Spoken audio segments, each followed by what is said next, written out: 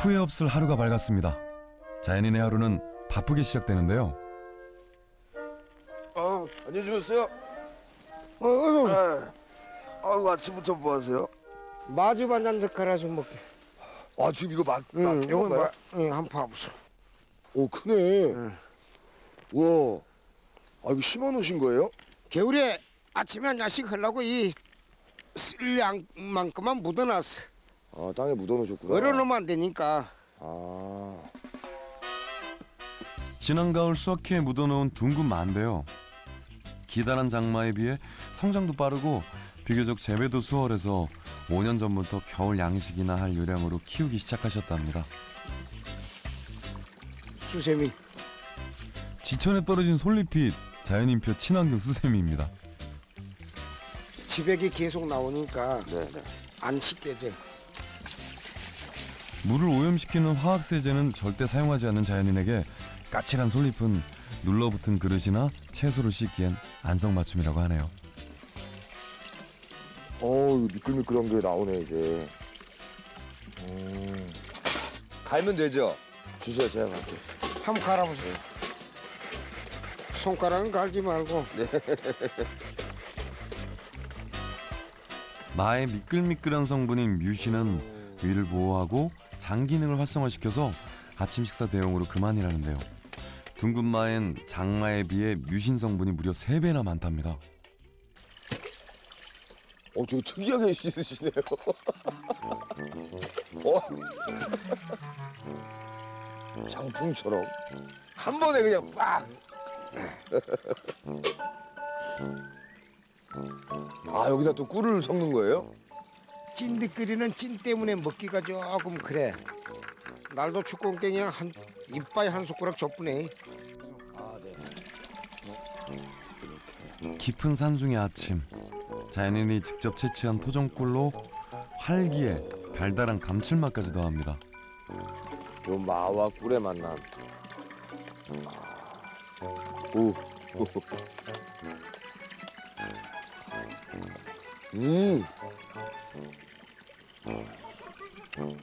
그냥 마만 먹으면은 사실 아무 맛도 안 나는데 꿀을 넣어서 먹으니까 꼭 젤리 먹는 것 같아요. 젤리. 맛 자체는 맛이 없어. 음. 진짜 무맛이 무맛. 맛보단 건강을 생각한 아침 자연인은 호로록 호로록 세 숟가락이 끝내십니다. 장풍 한 번 더 보여주세요. 장풍. 장풍. 보소 딱 한방 오. 두방에 딱 끝났던 거 보세요. 오 진짜. 야, 나름대로 노하우가 생기더라고. 저도 한번 해보면 안 될까요? 음. 한번 해보소. 이걸- 어 새로운 설거지 방법을 알았네. 수면 위하고 이 그릇 각을 잘 맞춰. 아 요- 이렇게 해가지고 헉! 어 이거 이거 이거 이거. 아, 소리가 하면? 들 리구먼. 어, 아주 제 실력 나오네. 장풍으로 준비 운동 좀 했으면 이제 몸 좀 풀어볼까요? 집뒤 자연인표 체육관입니다. 어 뭐 공을 매달아 놓으셨네요. 나, 나 한번 축구공을. 차볼게. 와 이거 좋게 5m는 될 것 같은데요? 직장 축구 동호회에서 활동할 정도로 축구를 좋아한 자연이 국리 끝에 만들어 놨답니다. 산악 지형이라 공이 굴러가 버리면 또 주소로 가야 될 거 아닌가. 네. 게으르다 보니까 머리를 쓴 거지. 저 저건 또 어떻게 매달아 놓으신 거예요 도대체? 어렸을 때 나무는 하나 잘 탔네. 아 슛, 네 슛, 또 슛. 아 하늘로 날아갑니다. 운동 제대로 되겠는데요? 슛! 와, 쪼그리. 지친 대로 참고 지친 대로.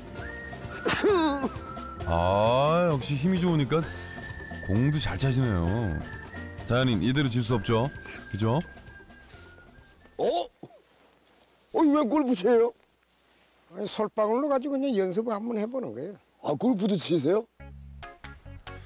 자연인의 자존심을 걸고 솔방울 골퍼가 필드에 섰습니다.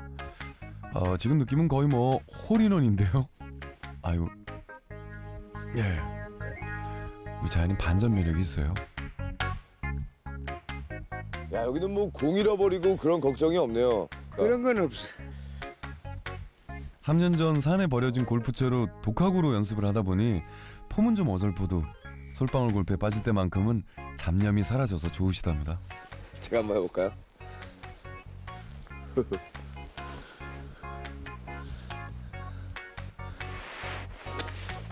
어이, 아이 승희 씨 적당히 해요. 나이샤. 아이 승희 씨왜 적당히를 몰라. 자연인 생각도 해야죠. 자연인표 체육관. 야 진짜 혼자 운동하긴 딱 좋네요. 어이 동생 네. 그만하고 가세. 아 네. 다음에 와서 또 오고. 이. 네. 아 시간 가는 줄 모르겠는데요. 자 재밌게 운동을 했으니 이제 일을 좀 해야죠. 자연인의 발길이 산 중턱으로 향하는데요. 얼마쯤 갔을까요? 한 나무 앞에 멈춰 섭니다. 뭐 하시게요? 고로쇠 수액 채취. 아 이거 수액 채취를 지금 하신다고요? 물이 나는가 안 나는가 확인하기 위해서 지금 아. 한 공만 뚫어보는 거예요. 네. 신비의 생명수로 불리는 고르쇠 나무 수액은 보통 2월에서 3월 사이에 채취하는데요. 산에 들며 비교적 한가한 겨우내 소일거리를 찾다 보니 고로쇠 나무를 10여 그루 심게 됐답니다. 물이 막 나오는 것 같은데요? 우와. 겨우내 잠들었던 땅속의 뿌리가 물과 필요한 영양소를 빨아들여 가지로 올려보낸 것이 고로쇠 수액인데요. 올해 첫 수액을 승윤 씨가 맛봅니다.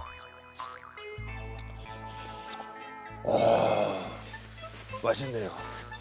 살짝지근한 게. 이게 그 몸에 좋다는 고로쇠물 아니에요? 뼈에 좋다는 얘기죠. 권리수요 원래.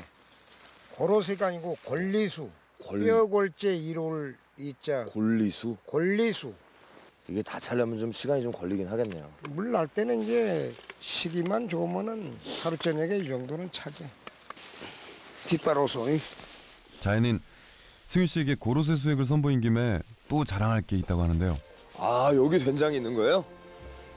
여기다 놔둔 이유가 집하고 멀어도 일조량이 좋기 때문에 집에서 한 5분 떨어져 있지만 양지 바른 곳에서 숙성 중인 장들인데요. 고로쇠 수액을 채취한 이후론 장을 담글 때 꼭 고로쇠 물로 하셨대요. 오. 오, 빛깔이 아주 좋은데요? 보통 이렇게 장독대에 있는 된장들 보면 색깔이 좀 이렇게 거무튀튀한데 뭔가 좀 한 싱싱한 색깔인데요? 12, 3년 아 그렇게 오래됐어요? 어, 오. 숙성이 잘 됐어요. 자연인의 생애 첫 된장입니다. 맛이 좋아 씨된장으로 쓰고 싶은 마음에 조금씩만 먹으며 아껴뒀던 걸 오늘은 제대로 선보여 주실 모양인데요. 고로쇠 된장 맛 한번 봐도 될까요? 완전 사갔기 때문에 콩알이 안 보여. 좀 짜기는 짜네. 오. 어 진짜 고로쇠 물에 맛이 있는 것 같아요. 뒷맛이 뭔가. 달고 네. 자꾸 침이 우러나. 요 감칠맛 나는 고로쇠 된장과 찰떡궁합 인 게 있죠. 이리 와보소. 어 이건 배추네요. 봄동 잘라가지고 봄동. 봄동은 노지에서 겨울을 나 잎이 동그랗게 모아지지 못하고 넓게 펼쳐진 배추를 말하는데요. 요맘때만 맛볼 수 있는 제철 채소입니다.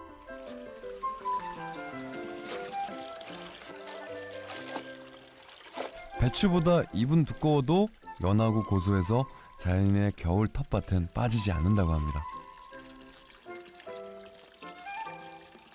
달라 달아.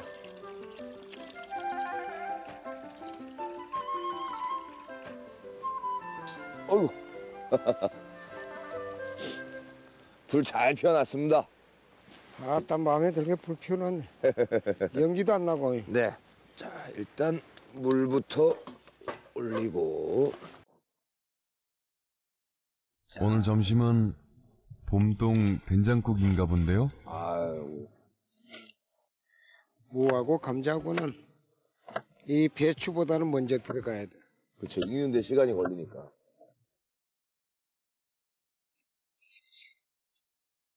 그 젊었을 때 요리 좀 하셨나요? 요리는 전혀 안 했어요. 전혀 안 하셨어요? 에, 산에 들어와가지고 서리금밥을 잘해. 그런 시행착오를 겪은 끝에 그렇지. 이렇게 하시는 거구나. 하다 보니까는 늘더라고. 13년쯤 지나니 이젠 있는 재료로 뭐든지 뚝딱 주부구단이 따로 없습니다. 아유, 맛있겠다.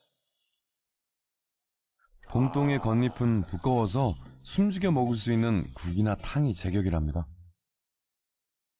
지금 여기는 겨울인데, 이 냄비 안에는 봄이 왔네. 좋은 표현. 이 표현이 좀 괜찮았나요? 아, 요 된장국만 있으면 다른 반찬이 필요 없겠는데요? 아, 자연인표 건강밥상이 차려졌습니다. 단순한 반찬이라도 맛있게 들쏘니. 된장국 하나만 있으면 됩니다. 아, 역시 이 된장국은 단 한 번도 저를 실망시킨 적이 없어요. 나도 이제 된장국 먹어야겠다. 음. 된장국에 꿀도 안 넣었는데 꿀 맛이 나죠? 싸움도 한번 싸보소. 무농약 자연인표 봄동. 보약이네, 보약.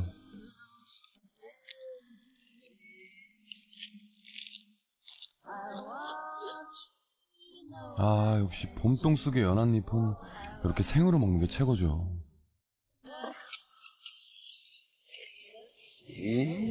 아, 소리까지 맛있네. 진짜 싱싱하다. 씹으면 씹을수록 단맛이 나요. 동생이 맛있게 든게 나도 맛있네. 자연이 내주는 넉넉함 속에서 자연이는 하루하루 사는 맛을 알아갑니다.